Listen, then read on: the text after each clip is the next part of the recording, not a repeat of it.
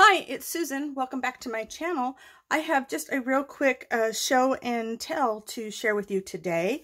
If you like fabric and you like quilting, I'm going to guess you might like seeing this video and hearing what I'm going to tell you if you don't already know about it. Okay, my husband knows this about me, but probably nobody else does. I love crazy quilts. There is something about them that just speaks to my heart. I have always wanted to make a crazy quilt, but I have not had the patience to be a quilter. And what I thought I needed was a lot of patience and a lot of precision. Both of those I don't have in a very large supply. Okay, teeny tiny supply of patience and precision. So I just sort of figured that quilting was not something that was ever going to happen for me. And the closest I got to my crazy quilts were my little patchwork pockets that I make with both fabric and paper. And I was okay with that until the day I saw that Crazy Rebecca Dances with Pit Bulls was putting together a series on making crazy quilts. Have you ever wondered where Crazy Rebecca got her name? I did. I don't know about the pit bulls part. I don't know about the dancing part, but I know that she got the crazy part from making crazy quilts for like years and years and years. Not that she's old, just that she's been doing it for a really long time. And for the first time ever, I feel really motivated to try to do a crazy quilt as soon as I finish some of these other projects that I have on my desk. Okay, a lot of projects on my desk, but I'm going to do it. I promise you, Rebecca, I am going to do it. So she has been showing people step by step in this series, and I, I, will link to the series down in the comment section, or if I figure out how to do info cards, I might even put it in the actual video. But she's doing simple series of how to make a crazy quilt where you do not have to have precision. You do not have to have a fancy, expensive rotary cutter. You don't have to even have a sewing machine. You can do the whole thing by hand. And she makes it all seem very doable. And I am so grateful to her. And I am so excited to think that I'm going to be able to play around with making crazy quilts. So that was enough excitement for me. And then come to find out, okay, I shouldn't be too surprised about this, but she is also a fabricaholic, just like me. I was not a fabricaholic a year ago. I only got my sewing machine a few months ago, and that is what has turned me into a fabricaholic. Going to the thrift stores and finding all these really great fabrics that are parts of clothing and cutting them apart. And that's what she does. She does buy fabric fabric, but a lot of times she just goes to the thrift store, buys clothes, tears them apart. Well, she was looking at her shelf and decided she had way too many pieces of material to make quilts which I suppose is something pretty, pretty common amongst anybody that's making anything with fabric. And she decided to make these bundles, which I think is an awesome idea of the way she stores things for making the quilts. And she decided to put some of these bundles up for sale. So I have a hard time finding certain colors, and I wanted to support Rebecca and thank her for all the teaching she's doing. So I bought a few bundles, and I took them out of the envelope, but that's it. I have not opened them to see what they are. But let me tell you, her prices are really reasonable and she was doing free shipping in the US. And it's just, it's awesome. I'm very excited. So I thought I would share what I got.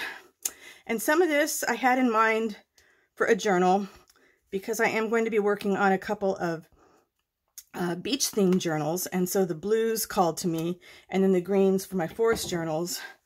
But I am going to make my own bundles to go with crazy quilts. Oh, look at this texture texture. This is awesome. Oh, I love it. Love it, love it, love it. And see, these could go, besides doing a quilt, these could make some great mini journals. And we've got great blues. This actually looks like some underwater stuff. Oh, and some satiny kind of feel, some great textures. Uh, oh, some green velvet. Oh, this is absolutely going in my pile of things for a forest journal.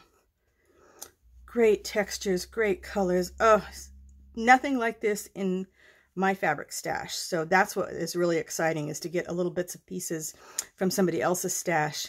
Oh, this has got a great texture. It's one of those, um, feels almost like a, a suede feel. Yep. Beach, but oh, velvet, velvet. I cannot find anything velvet in my thrift stores. Beachy boho forest. Oh, look at that. Perfect for my forest journal, isn't it? Uh, oh, this is exciting. I cannot wait to make my own little bundles for quilts. This was a really, really great deal for all this fabric. Oh, look at the look at the color on this. Oh, that's beautiful. It just shimmers. And more velvet.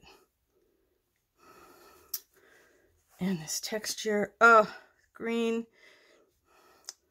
Awesome. That's just one pack. That is beautiful.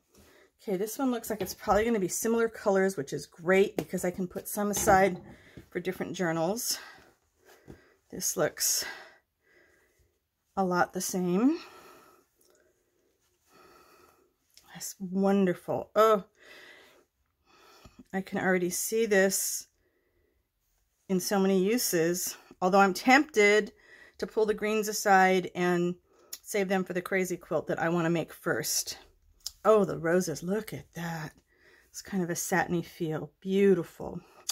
And you know, crazy quilts, the thing that's really attracted me to them has been all the embellishments they do on them at the seam line. And Rebecca's got a great video that talks about how she does exactly that. So there's no need to feel intimidated, except for the lack of time, when it comes to wanting to make a crazy quilt.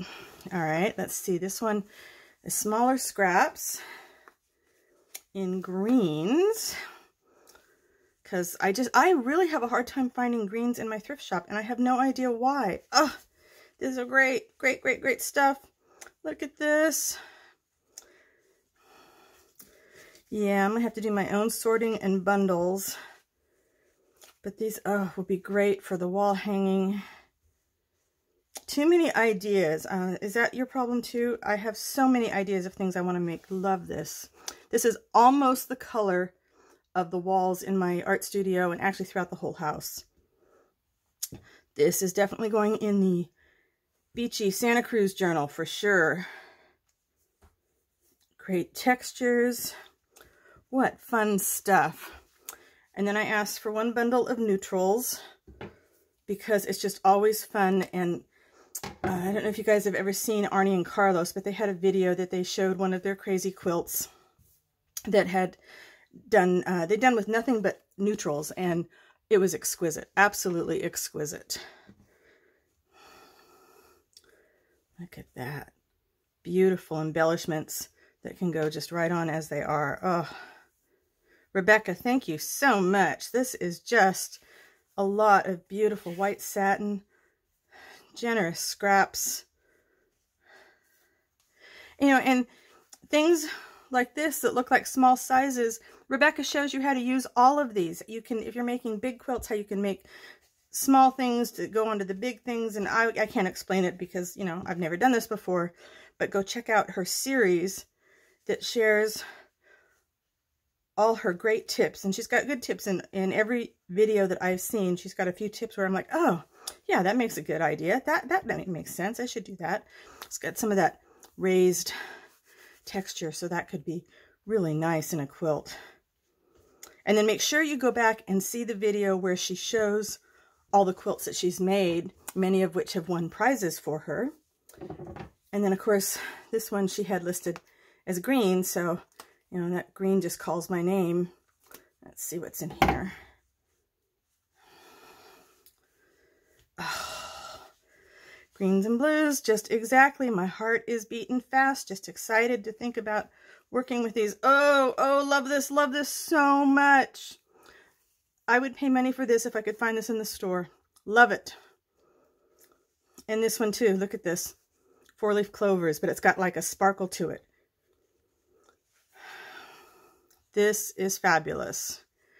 All right, my mind now is going 900 miles an hour with all these ideas, and I want to go cut up my fabric and play around with it, but I can't. I have to go finish a couple more projects and get some videos uploaded. Lots of little pieces of velvet. That is awesome. Thank you so much, Rebecca, for making these scrap bundles available at such a reasonable price so I could get some to play with. I hope that some of you will go check out her wonderful series. And she's she's posting at least one a week, maybe even more often. Maybe it's a couple times a week. But you might get motivated even if you've never made a quilt before. And she makes you believe you can do it. That's all for now. Thank you so much for taking some time out of your busy day to spend some time for me with me. I will see you next time. Bye for now.